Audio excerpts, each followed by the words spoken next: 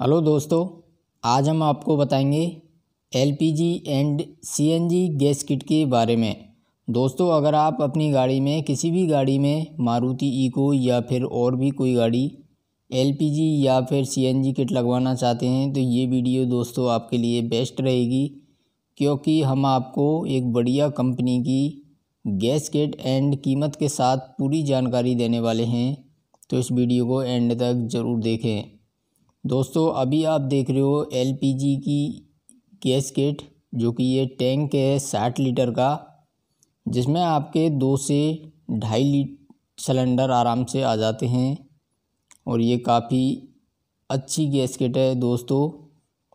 और ये है गैस किट यूनिटाइज की, जो काफ़ी बढ़िया कंपनी है। इसमें आपको काफ़ी बढ़िया एवरेज मिल जाता है। और ये आप देख रहे हो मीटर इसका जिसमें आपको पूरी जानकारी मिलेगी। ये दो पाइप हैं, एक जा रहा है अंदर की तरफ़ और दूसरा है आपको गैस रिपिल करवाने का।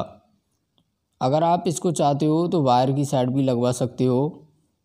अगर आप चाहते हो तो बूट स्पेस में भी लग जाएगा, जिससे कोई छेड़छाड़ आपकी नहीं होगी। ये काफ़ी अच्छे तरीके से फिटिंग हो जाती है दोस्तों। आप इसको इस तरीके से लगवा सकते हो। आगे हम बताएँगे वीडियो में एंड तक बने रहें, पूरी जानकारी देंगे हम आपको कि कितने में लगती है एंड क्या क्या इसमें लगता है। दोस्तों, ये टैंक में पूरी डिटेल मिलती है यहाँ पर। किस महीने का ये मैन्युफैक्चरिंग है, कितने लीटर का है, सारी जानकारी इसमें दी जाती है। दोस्तों, अंदर की साइड से इसमें वायरिंग और पाइप जाता है। आगे चलिए हम आपको और जानकारी देते हैं कि इसमें आपको क्या क्या मिलता है। सबसे पहले गाड़ी को ऑन कर लेते हैं। ये आपको एक स्विच मिलता है जिससे आप अपनी गाड़ी को पेट्रोल एंड एलपीजी या सीएनजी में कर सकते हो, जिसमें आपको काफ़ी बत्ती मिलती हैं। ये आपको बताती हैं अपनी गाड़ी में कितनी गैस है। इससे आपको अंदाज़ा लग जाएगा कि अपनी गाड़ी में कितनी गैस है। अगर ये पूरी ऊपर तक है तो फुल है और जैसे जैसे रेड होती जाएँगी, जैसे जैसे आपकी गैस कम होती जाएगी। और ये है यूनिटाइज की गैस किट, जिसमें आपको ब्रांडिंग मिल जाती है। ये आपको स्विच मिलेगा। ऊपर करेंगे तो आपको पेट्रोल में हो जाएगी अपनी गाड़ी। और आप इससे नीचे बटन करोगे आप तो आपकी गाड़ी गैस में हो जाएगी। तो चलिए दोस्तों, आगे बढ़ते हैं और अब बताते हैं हम आपको कि आपको इससे गैस किट में और क्या क्या मिलता है। इसमें आपको एक फ़िल्टर मिलता है, जो आपको हर सर्विस पर उसकी सफ़ाई करनी होगी। दोस्तों, इसमें गैस किट में दो गैस किट आती हैं। एक तो सादा वाली आती है, एक दूसरी सेंसर वाली आती है। ये आप देख रहे हो, सादा वाली।